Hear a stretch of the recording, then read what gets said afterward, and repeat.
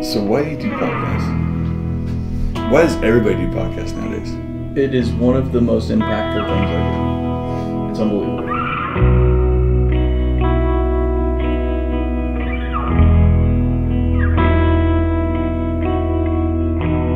Even if I wanted to craft, I don't think in video. Yeah. I just yeah, I just don't. That's just not how my mind works. As far as uh, natural, uh, aligning natural gifts and abilities with what you do, I'm so glad I debunked the whole if you work hard, you can be good at anything thing. Because it's just not true.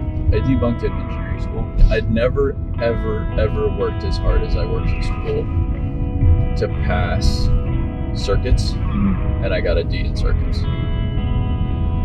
Like I put in twice as much effort into that class than I'd ever put in anything before, and I got a D. And then I'm like, okay, so it's actually false that you can just work hard and get A's. Yeah. That that is a that's total bullshit. Which is a good lesson. I think it's probably only a lesson you can learn firsthand. You know, Mhm. you can. I think you can always tell people, just like you know, sometimes you're just not built to be good at this thing. No, it's You really need to learn, like, oh wow, I busted my, and I still do not have it.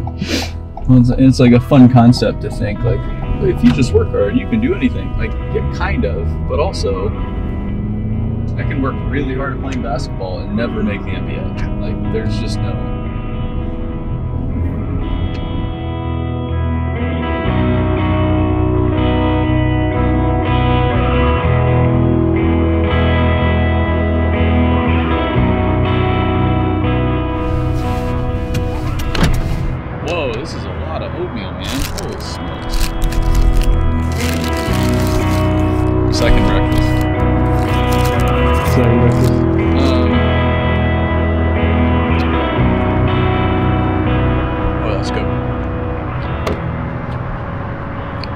Everybody. Welcome uh, to BuildWitt Vlog. This morning we are in Salt Lake City, Utah, outside of Salt Lake City, Utah, just south of the airport here. Outside of Wheeler Machinery, uh, the Utah cat dealer. So today we are here to record. It's a landfill compactor pulling in. It looks like it's burned. Hold on. Hold, please. Oh, yeah.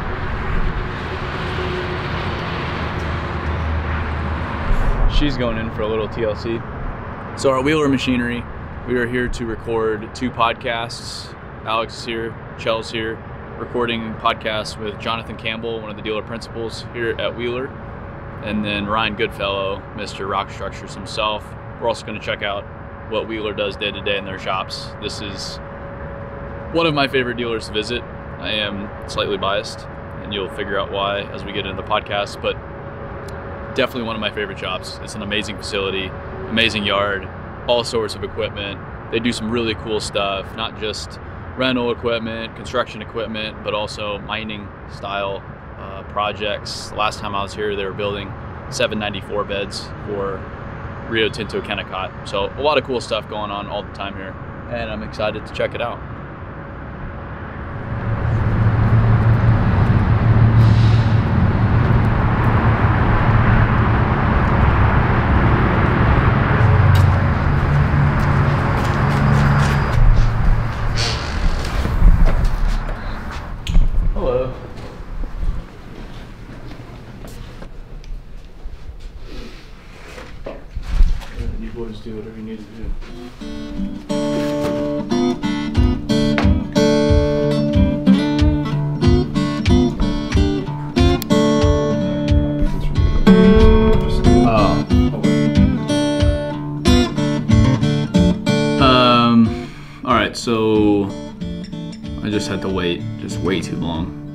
These guys to get everything set up.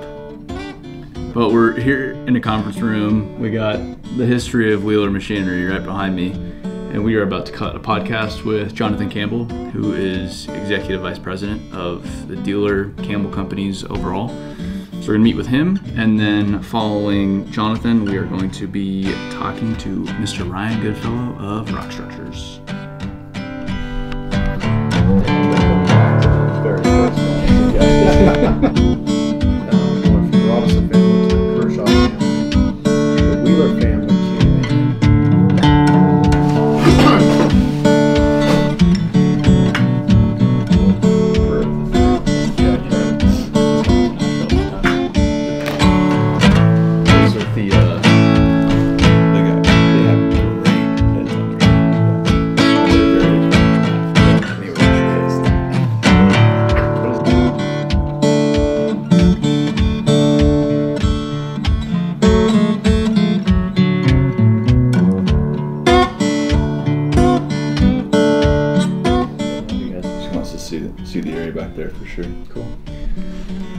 That was uh, Ryan Goodfellow, everybody.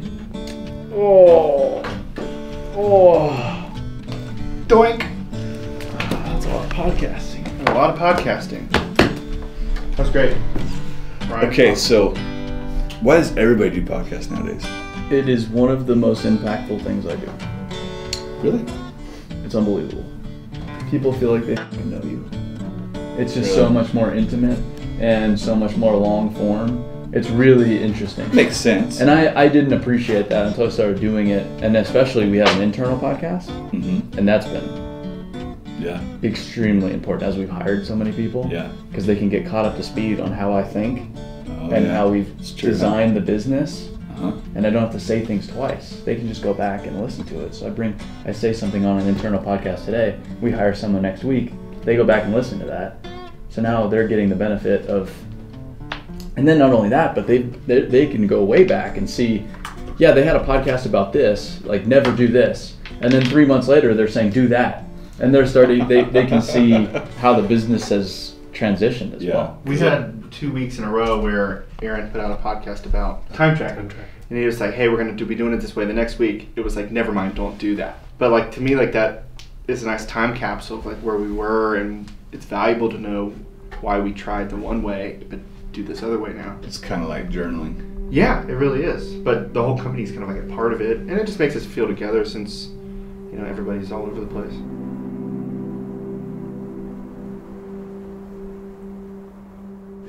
Good to see you, Ryan. Good to see you. nice to meet you. I think you were less nervous than I was when I did mine. Less nervous? Yeah. What do you gotta be nervous for? I don't know. I I recorded with him a couple weeks ago in mm-hmm. Nashville. And it was like I was excited to do it, and then we sat down to record, and I was like, why am I so nervous? This is stupid. Yeah. Well, it's like, it's one of those things where you don't want to say something wrong, but then again, really, what does it matter? yeah.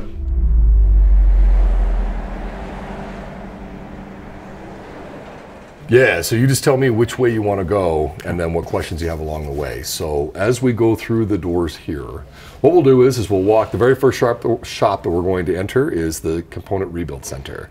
It's where we rebuild all of the engines, powertrain components, wheels, final drives, things like that. Okay, all right. We'll go straight back to the, to we call it uh, heavy equipment operations.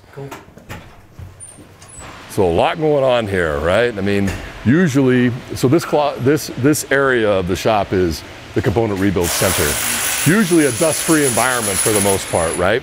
Um, you can see there's a lot of parts and staging that's going on out here. Our parts warehouse, thanks Eddie.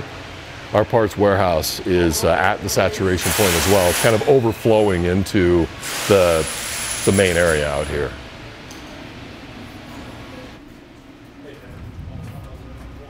This is our condition monitoring center in here. That's where they monitor all of equipment health. Okay, so those are uh, condition monitoring analysts. You'll see them sitting at those those um, screens and whatnot right there, and they are monitoring all the equipment that we have out there that is that is connected assets, is what we call them.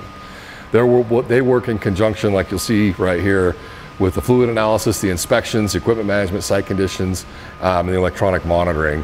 It is kind of a mess out here because we're remodeling this whole bottom area. This is our new oil lab. Oh, oh, really? Yeah. Whoa, that's pretty cool. Isn't that neat? Yeah. So we're quadrupling the size of the current oil lab that we have now. Holy smokes. So the oil lab we have now is up and tucked away into the to the back floor up there.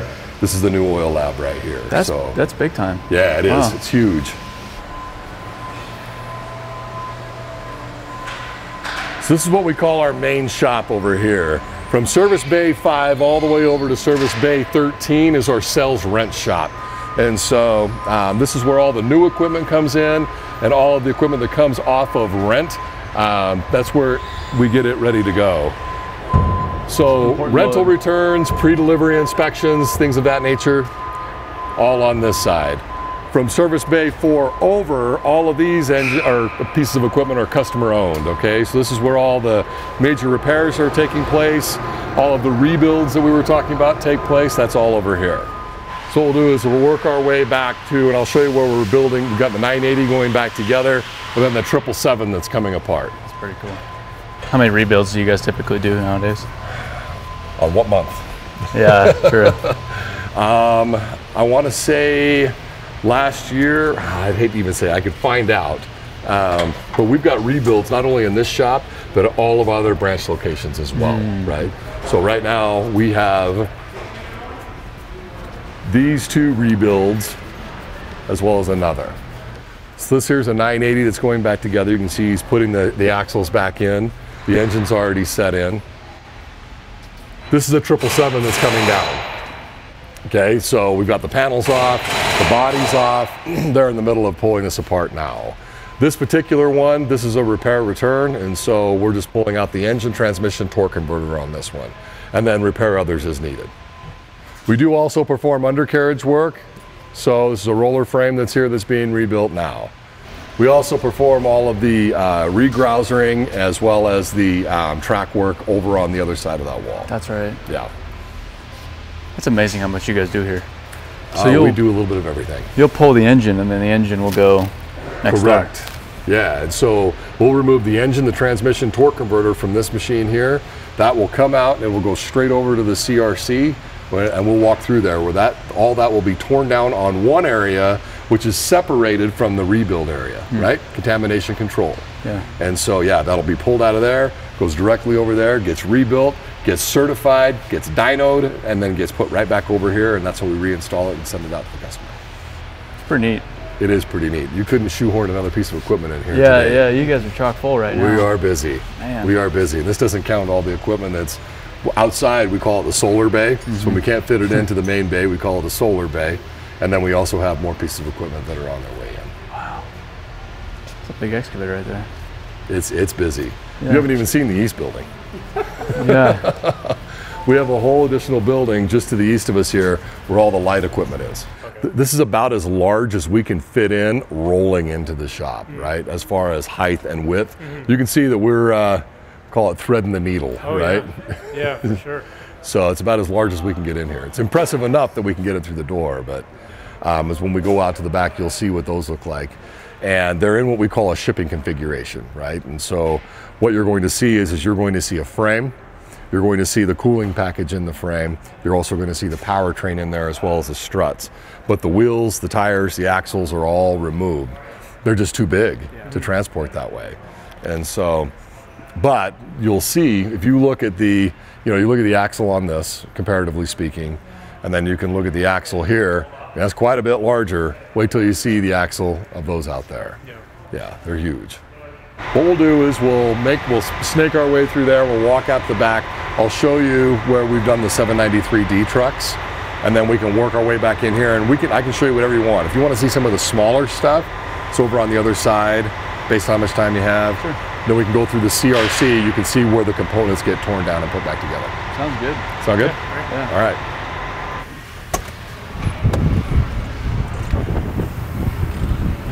So, Whoa. what is this, you ask, right? Yeah. That right there, see where that motor grader's pulling in right now? Mm -hmm. That's our wash bay. That wash bay has looked like that. It looked just like that 26 years ago when I started. This is our new WASP building. Okay, WASP stands for Wash, Sandblast, and Paint. All right, and so what you're looking at here is going to be our new wash bay. We're doubling the capacity of our, of our wash, plus it'll be indoors. That next bay that you see right there, that's where we're going to be performing all of our sandblasting. Right now, we do it on the back side of the property.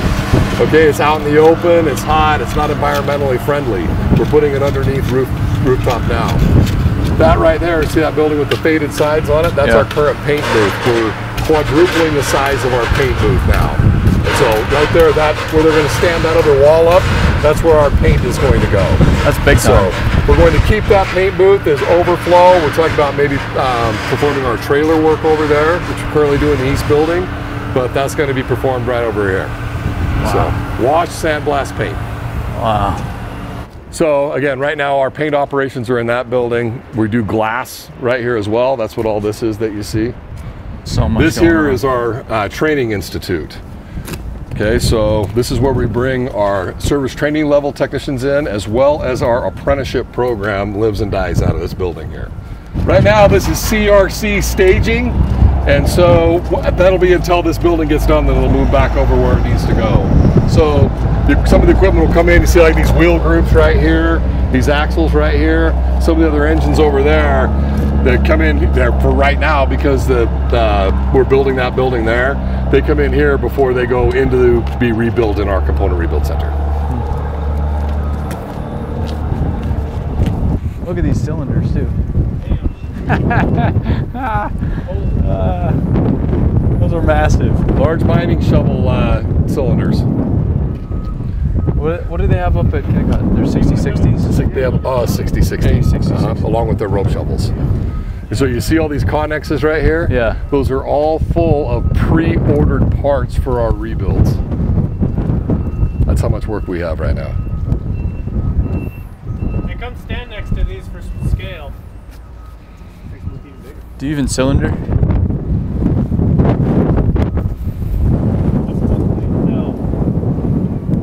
Hydraulic power. Yeah, and then the idler. Okay, so these are the 793D trucks. You can see is at front of the cab that's right there, Yeah. right? So, you guys remember that 777 axle that I was showing you? There's the difference between what that looks like and what one looks like comes out of a D truck. Shoot. So this is ready to ready to go. Yep, so this is shipping configuration.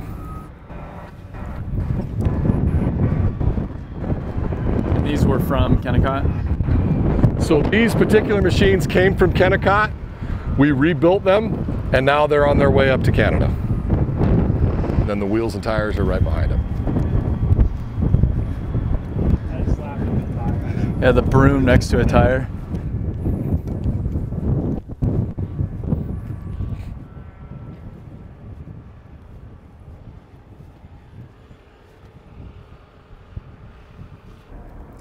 I'll take one.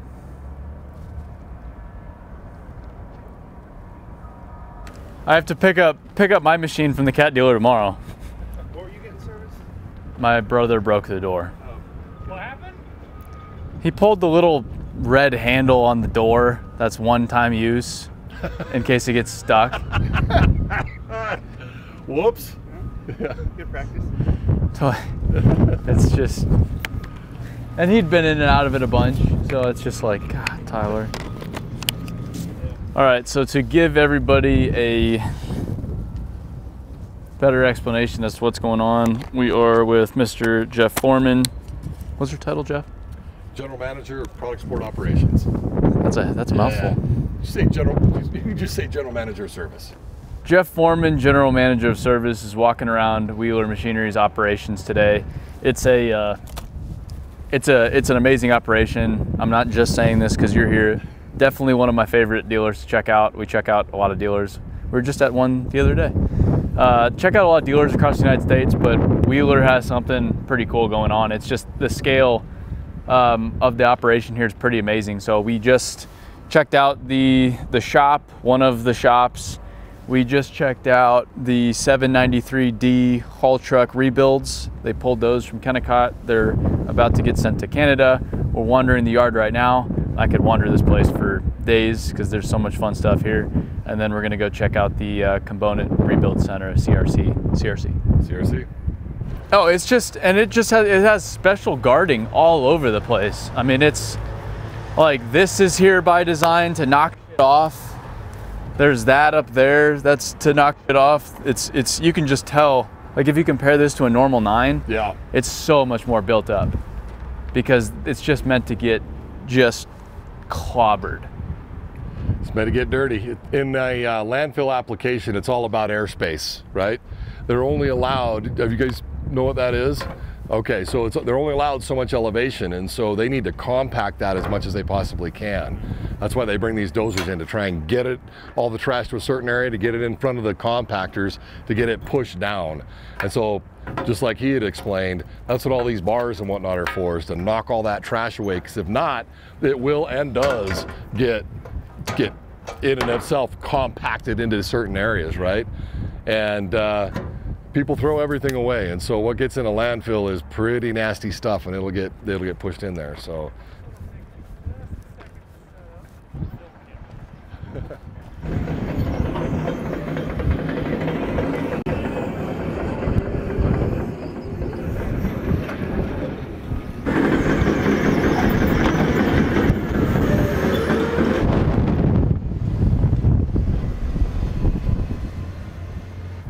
So this is an 836 um, landfill compactor. This is what works in concert with that dozer that you saw over there. Right. Okay. This is doing more of the compaction. That, that's what that's doing. So it's missing the blade on the front. So it has a blade that can actually push the trash, just like that.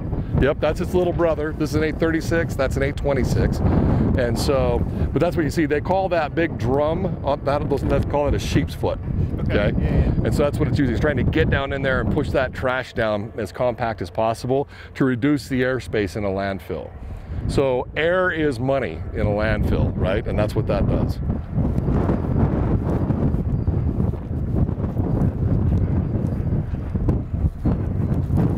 And All they right. are nasty. I like the little spikes on the top of the birds. Stupid seagulls.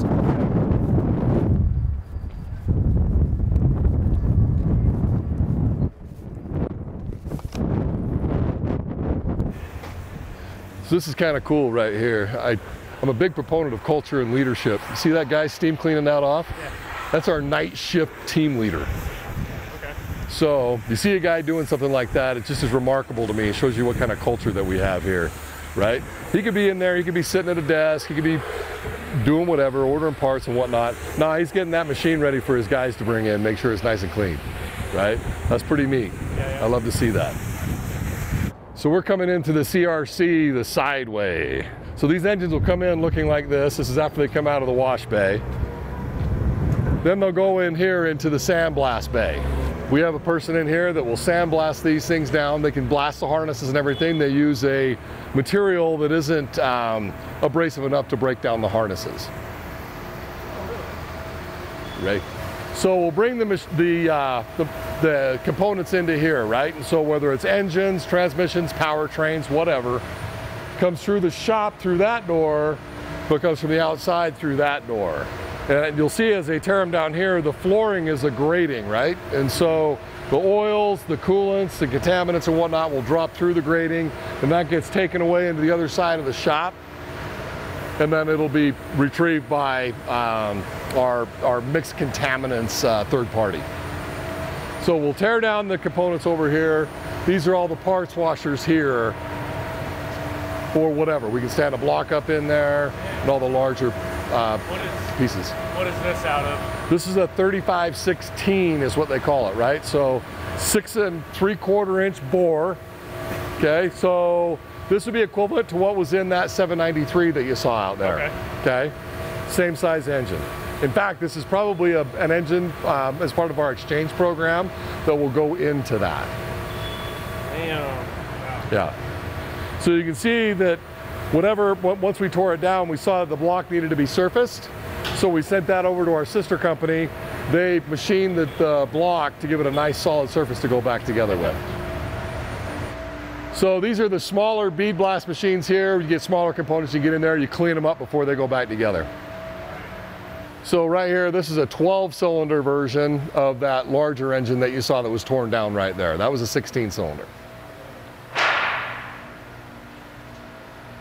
Let me show you guys the dyno. I think you'll get a kick out of it. So years ago, we had a dyno. It was on the other side of the corner over there where our transmission dyno is. It was 3,000 horsepower at the time. Here about 10, 12 years ago, we rebuilt the whole facility. We found that that smaller dyno was a bit of a bottleneck, okay? So we moved the dyno over to this side and made two. So at the end of the day, this one is a 6,000 horsepower dyno on the left. It's a 1250 on the right. And so that way we don't have a smaller engine bottlenecking a larger one. Let me show you the control room.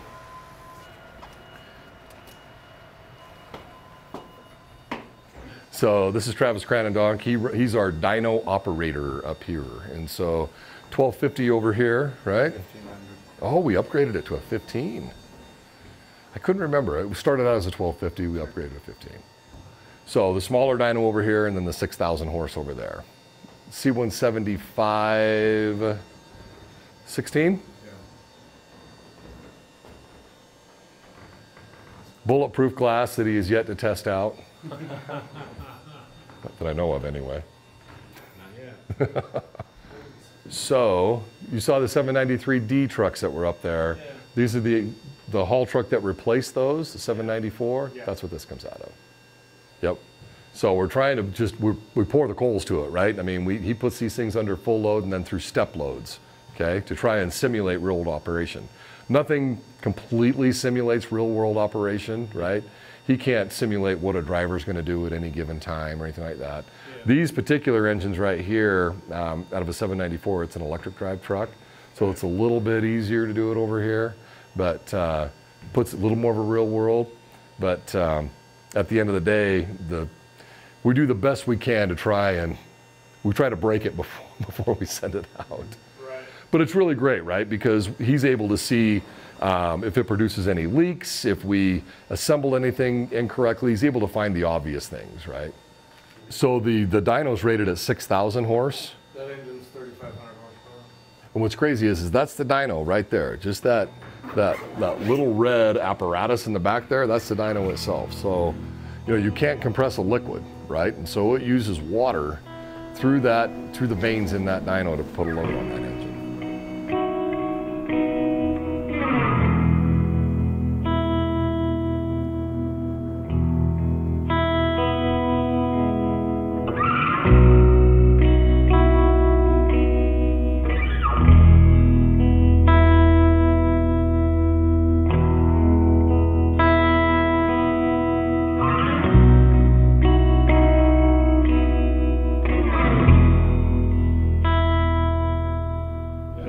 Podcasting so people have uh, been drawn to it so much because it's so it's so much more real and authentic. It's harder to fake Yeah. because like an Instagram post you can doll it up or video you can edit it make things look. Bad. Whereas audio is just like two people talking, Yeah. and so you just you feel like you're a part of it.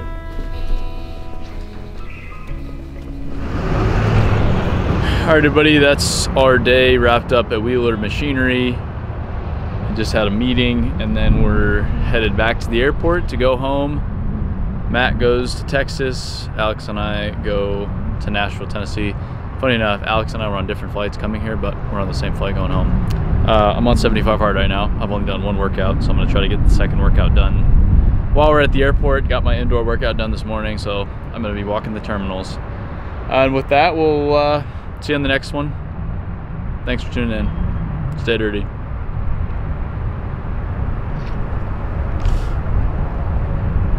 Let's go home.